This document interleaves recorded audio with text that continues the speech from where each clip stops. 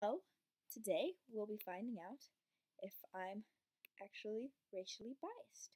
Step 1 Adjectives will appear in the middle of your screen in white. White. White. It's capitalized. Using the arrows, categorize them as good or bad. Do it as quickly as possible without thinking. Okay, so good is up, I'm assuming, and bad is okay. Okay. Happy, good. Oh, good. Sorrow, bad. Ah! Scary, uh, bad. Cheerful, good. I don't understand what this got to do with racial bias things. Okay. Hello. Okay, faces will appear on the middle of the screen. Using the arrows, categorize them according to their ethnic background. Do it as quickly as possible without thinking. Okay. Will not be thinking. Um, African American, European. I don't know. Uh, African American, European American. That probably that one. Uh, European. She looks Spanish. Three faces and adjectives will appear in the middle of your screen. Ah! Will appear in the middle of the screen. Using the arrows, categorize their faces according to their ethnic background and the adjectives as good or bad. Well, what if they don't match? Okay, I don't know.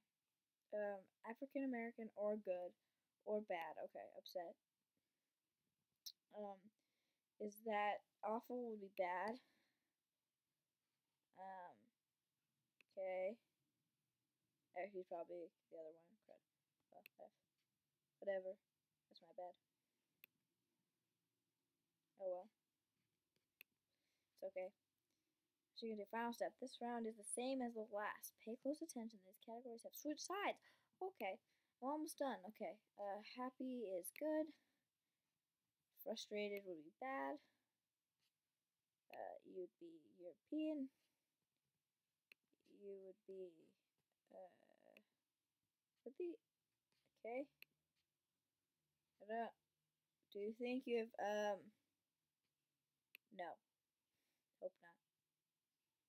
But I don't know. I don't want an advertisement. I need to know the answer. Can I skip this? There we go. Oh hey, you know what?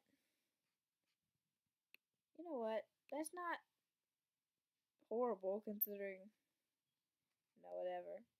Racial bias is incredibly pervasive in our society, so it is surprising to find someone that displays little to no subconscious prejudice. Yay, guys! Turns out I'm not a racist. Displays little to no subconscious prejudice. Studies have found that most people, regardless of political orientation, gender, and even race, have some racial bias. You can pat yourself on the back. All right. You see people as more than sin geek.